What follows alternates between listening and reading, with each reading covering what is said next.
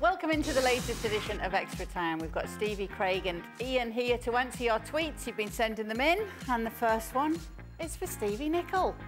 Stevie, rank in order of how much you hate England, Manchester United, or the dentist. Oh, well, the dentist is third.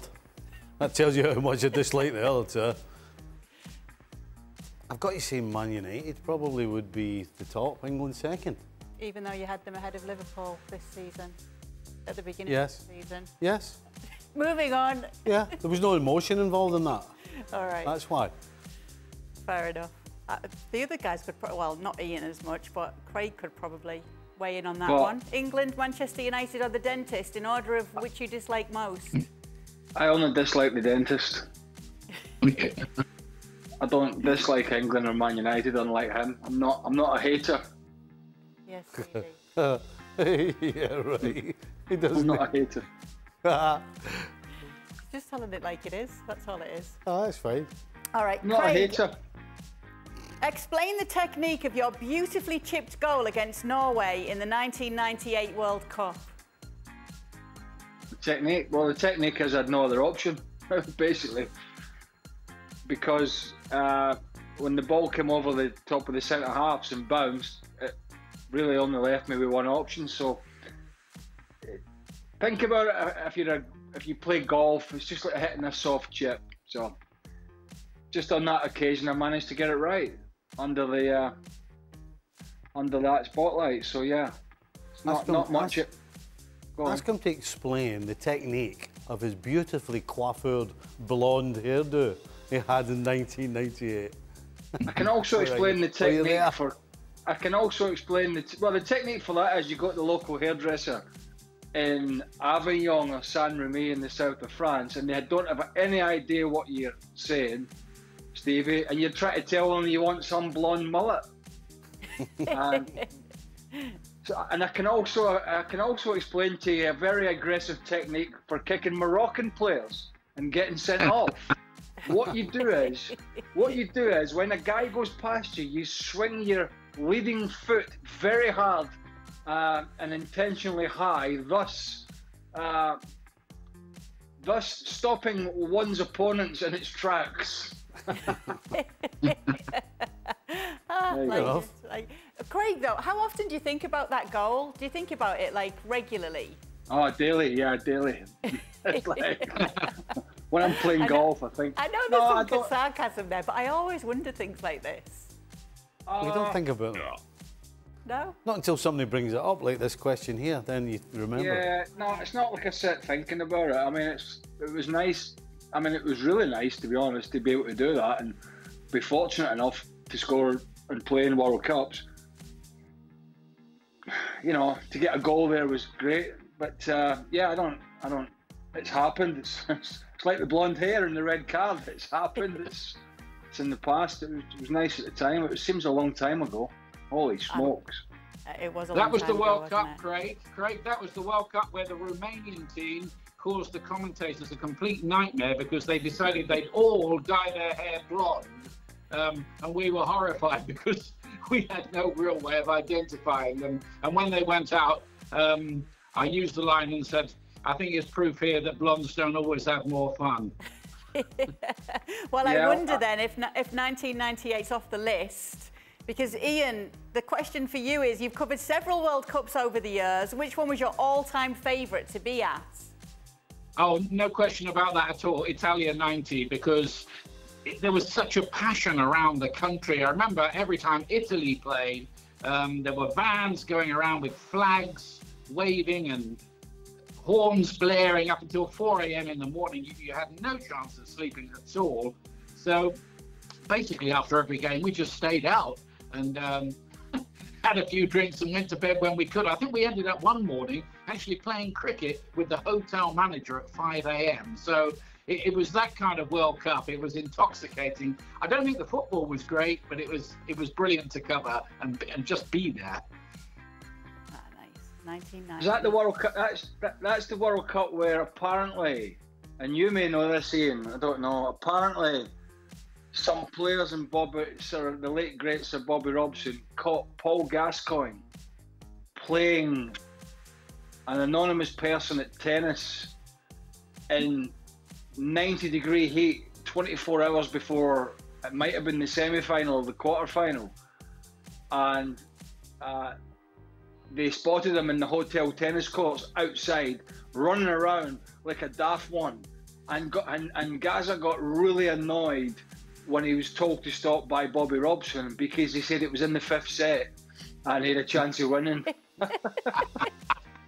That's Gazza. He, I mean, Bobby called him daft as a brush, didn't he? But yeah. I think, you know, everyone I've ever spoken to who played with him absolutely loved him. Brushy's don't know that daft. daft as Gazza. Yeah. that was that was the World Cup, wasn't it? Tears of a clown. All right, Craig, why hasn't Bale been linked to more competitive Premier League sides? In 2021, he scored 11 league goals, 16 total, when he was uh, on loan for half a year for Spurs. He seemed motivated to perform before the Euros. I think, unfortunately, uh, reputation travels. Uh, I, I don't think there's many will doubt that he could come in and do a job. I suppose there may, behind the scenes, Kay, there could be some clubs talking to him about an incentivised short-term contract. But look, Bale's latter day issues at Real Madrid have been well documented, uh, and sometimes uh, and Stevie will know, having coached, uh, sometimes a manager doesn't always want that kind of player around. Not always, but sometimes. And I think that's probably just making putting a few more hurdles in his path. I'm sure he'll get something, but when managers are looking to save their, their bacon, and more, let's be honest, apart from a few, most of them are looking to save their bacon every season you're looking for people that are going to go to the well for you, and that that's just not him at, at, at club level anymore. Are you surprised, Ian, that he's not been linked to more Premier League sides? Um, for the same reasons that Craig just itemised, I'm not that surprised. Um, there are stories linking him with the move to Roma, linking him with Jose Mourinho again. That would be uh, that would be quite interesting. I mean, the, the fact is, the, the, World Cup starts in the middle of November. Wales are in it. He's the captain. He's the talisman. He has to play far more than he's played this season. Otherwise, he's just not going to be match sharp for the World Cup. So that's going to be his number one priority. I just wonder whether a team like you know Fulham or Bournemouth or Nottingham Forest who are coming up into the Premier League, whether one of their managers might just think, you know what, I could use Gareth Bale. I, I could do with having him around. I know one manager who would have hired him, I'm pretty sure, and that would have been Harry Redknapp if he was still managing a Premier League club. Of course, he isn't. Yeah, well, we know it's not Getafe, don't we, in La Liga? Yeah. He's, um, he's made that one very clear. Yep. Stevie, hey, listen, if he wants to go to Not- if he wants to go to Nottingham Forest, I'll take some of his potatoes, pesetas if he wants to go in my house. That's it. Happy days. Gareth, if you're watching, there is a house that you can live in, ready-made, yeah. in the Nottingham area, so that you can go and play for Nottingham Forest. With, but he has, but he has to, he has to put up with my son and his girlfriend. There's the problem. No Good luck.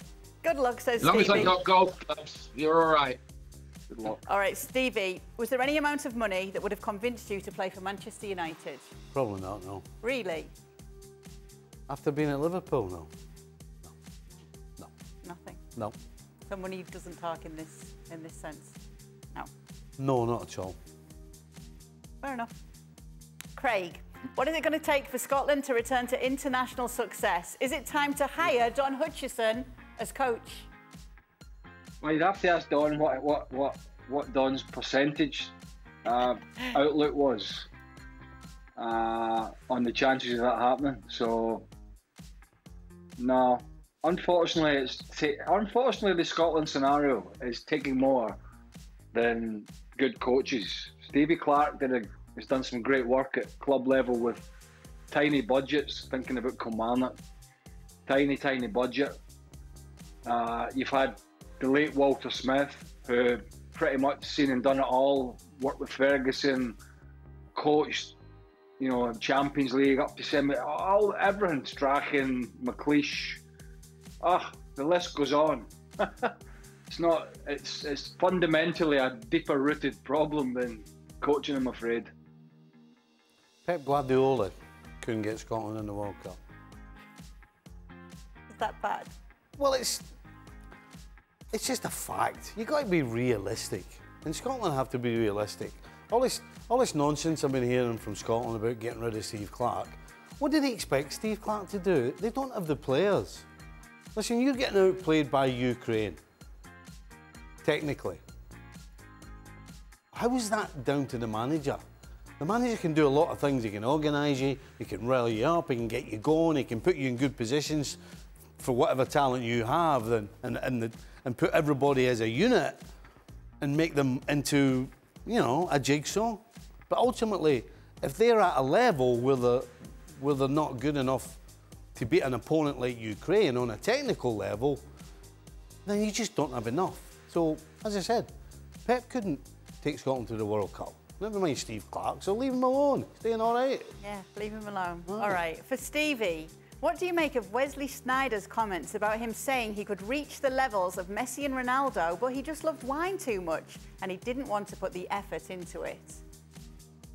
Well, I think he'd probably had some wine when he came out with that. So I think that sort of says all you need to know. He's probably sipping a glass of wine, or his sixth or seventh glass of wine, thinking that. Yeah. Where did that come from anyway? Wesley Sneijder? No, but yeah, but where did it come from from Wesley? That's like that's like me saying, you know what? If I had liked Budweiser so much, I could have done what Wesley Sneijder's done. No chance. Not a chance. He has said things like this before. What, what do you think? To be Ian? fair, to, to be go fair, it's, it's like, that's like saying, you know, if Stevie wasn't so enthralled by buying his golf clubs on eBay for a cheap price, he could have been like Tiger Woods. But That's he's not. true. I could have been like Tiger Woods. And That's by all the that was way, stopping you. Yeah. and yeah, that's what's stopping me. Is I think 300 bucks on eBay. What do you want? What do you want for 300 bucks? That's what. Hey, that's what. here's you what he's not telling you. I don't buy them on eBay. He buys them on eBay for me. he does all the Do dirty you, work. do you even know how to buy something on eBay? No, well, he does it for me. Got my Well, I had, butler I here. had my, I had my, uh, I had my orders for a driver a couple of years ago. It was had to be a, had to be a, a brand make. Had to go like a rocket. Extra yards. Had to be under a hundred bucks and have the right shaft. There we go. Oh, And I managed. I managed, Kay. And do you know what? What this? They got me do you know what this? No, I did. He hit it well, and then he then he decided he wasn't playing See? anymore. So wasn't for a wee thing while. He's ha- he's having a sabbatical. Uh, and they say, what is it they say? They say sometimes the Dutch carry themselves sometimes with a bit of arrogance. There's no sign of that here in Wesley Sneijder, is there? A bit of arrogance could have been Messi and Ronaldo. I mean, goodness, good grief. You, you, you must have seen him in his By the way- Go on. What? I was thinking of Wesley Snipes. I, was thinking of Wesley, Sni- Wesley Sneijder, the footballer. I thought, I thought it was the actor. Why would he I've no idea. that? Well, that's why I said, why would he say that? That's why I said. That's, that's why I said. That's why should I said. That's like me wanting to do what Wesley Sneijder did. Did you not think that was a bit strange?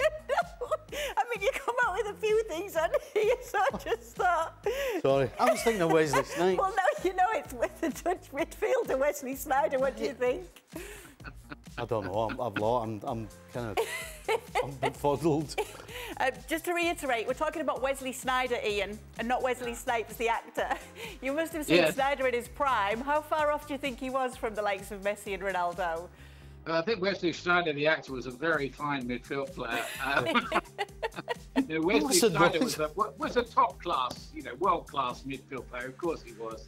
You know, that uh, team that got to the World Cup final. Um, yeah, great player. But hey, look, who's in the same class as Messi and Ronaldo? Almost nobody in history. So I think when he said that, like Stevie said, I think he might have had a couple of glasses of that wine, or either that, or he's got a very vivid imagination. Well, na- hey, now that we're on the subject, name me a Wesley Snipes film. Come on. Go on, I couldn't. you could. I just know he was. He's a. He's an actor. Was you, it- you're has he not very been in good one- with your films? Was it not about? Was it not one one of, uh, involved airplanes? Oh, um, um, um, Not, not Con Air. Blade. No. He was in Blade. What else? Yeah, he was in Blade. Star of that. I can't believe we've got. I can't believe we've sat here, and that that donut actually thought we were talking about Wesley Snipes. Honestly, Gonna make me laugh for weeks, you know. I saw it. I saw it earlier, and I thought, oh, Wesley Snipes. Oh, why would he say that? But even so, how do you know that he wasn't a great footballer and he was a better actor, so that's what he decided to go into? Well, many great footballers, you know, would make good actors. And don't say Frank Frank. Don't say Frank. I said good actors. oh, that's not nice. He's not here to defend himself. All right. Craig, would you ever weigh yourself before and after the game? How exhausting is it to play a full game of competitive football? And also, does training ever come close to the real thing? Not really, no. But as it turns out, we used to weigh ourselves a lot at training years and years ago in the old days before before all the uh, sports scientists and stuff. And you used to wear, I'm sure Stevie did as well, but we used to always have something in the old days called wet tops. And they were basically, they would help you sweat during training. But it became apparent through people who knew what they were talking about that really you're you're not losing weight, you're just dehydrating yourself at the time you're losing fluid, and you put it all straight back on, uh, usually after training. So I've seen guys wearing two or three of these, and I, I know guys. Uh, that used to wear two and three of these wet tops to, to try and lose weight, get a sweat on. They'd hardly run about. They would be lazy as hell, and then they'd be sweating after it. But and then they'd they'd be convinced that they'd lost like, oh, I've lost eight pounds a day and all that. And all you've done, all you've done is drained yourself of some fluid, and it all go, all goes back on. But but no, never before and after a game. No, no, you're either you're either in shape and ready to play, or you're out of shape and you're fat. I mean, it, you kind of know where you are. We, we all never got, got weighed at the start of the season. Yeah. That was it. And you, When you came back, but would you not get on the scales other than that? No. No. no. There would, there would always be a couple of guys who would always, just because of the way they are, would carry. Like when I got when I got to Liverpool in, in '81, a guy called Ray Kennedy, who was a fantastic player, he used to train every day with a black bin liner under his gear. Yep. You know, they got they got a little more sophisticated in ten years later in Craig's Craig's decade with, with sweat tops. In the early 80s, you used a black bin liner underneath all your gear. And and as he said, all it did was dehydrate you. It doesn't take weight off, it dehydrates you, and then you stand on the scales and you kid yourself on you've lost weight. But the next morning, when you're rehydrated, you're the same weight. Uh, yeah, a bin liner, also known as a trash bag. in Sorry, a parts trash of the bag. World. Yeah. Yeah. Yeah. Oops. But would- would- On the might- scales, please, Nicol. On the scales. Well, that's the only thing Nic- I'm thinking. If there's some Nicol. managers that have put you on a strict regime and you do have to make a Hey, certain weight, listen, would, hey, would nobody used to What do that. did- What, Nobody what the hell do chance do you think? Who's going to who's going to get him in a strict regime? Well, we used to do God. that. You didn't. Let's be honest. You didn't need to do that. There was there was the odd guy who needed it, but generally everybody was fit as a fiddle. They weren't. They weren't. They were the odd ones out. The ones that had to be weighed, and anybody had to speak to them. My goodness, you're running about in your twenties. You, you're carrying nothing. Yeah, exactly. Fighting All weight, right. Kay. Fighting weight at that point. Fighting You know what I weight. mean? What was you? What was you fighting with? Uh, a lot less than it is now. I, I'm going to say, Well, I'm guessing, I don't really know. 175? Is that a lot? What's that? This- Ian's got to weigh in here. Yeah, mine was mine Um, was twelve one. Well, commentators don't have to weigh in, or you know, nobody should give them that idea. Um, don't the players now? They get weighed every week, don't they? Um, No, but the if old he's days once- where you went away for the summer and, and and went on the beach and ate, you know, French fries and burgers all summer and let themselves down. I think that Did that all doesn't winter happen as well. They get really off. They're weighed the whole time. Uh, no, but Ian, what would Craig have been fighting at at 175? Oh, sorry, what was Craig? Oh, what did he say? One seven five. Yeah. Uh, Yeah, that sounds about Ah, sort of right. 12 yeah, and a I half. thought so. Wait, wouldn't he? have been? Maybe a bit less even. Maybe more Aye, like one. That's heavier than me. One So you're sixty, fighting- I'd say. Your Right, fighting I was was more than me. That's a bit 12. One, that's 175 is about what 12 and a half. Mm. So I was like About- half a stone lighter than him when I played. Yeah, but I'm taller than you. Oh yeah. Yeah, but fatter. I'm taller than you.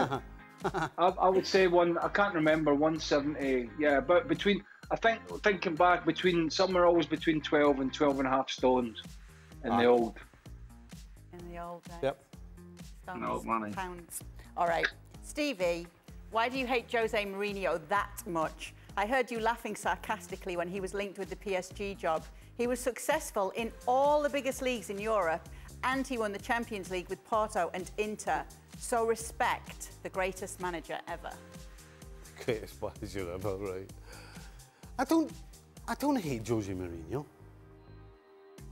Just he says an awful lot of things, right? And not everything he says is correct. A lot of things he says are, are correct, but a lot of things he said are complete and utter nonsense.